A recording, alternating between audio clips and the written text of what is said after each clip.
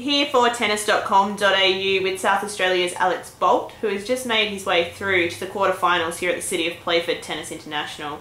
Uh, Alex, congratulations. A sensational win today over Marc Polmans, 6-4, 6-3. Thoughts on the match?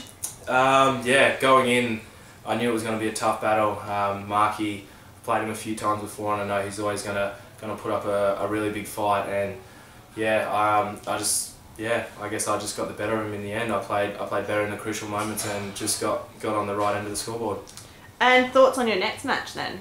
Yeah, I got Jason Kubler. Um, played him in the final at Traralgon a couple months ago. Um, unfortunately lost in a tight one, but um, yeah, hopefully I can get one back on him here. And you've had a couple of great wins here already this week. Coming into the tournament, you've been in great form.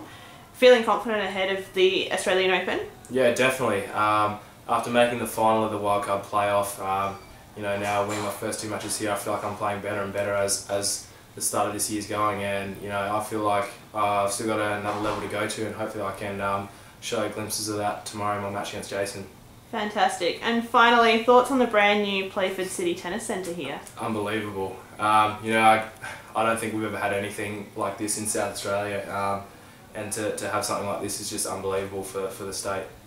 Well, thanks for chatting to us, Alex. Congratulations on today's result and best of luck for your next match.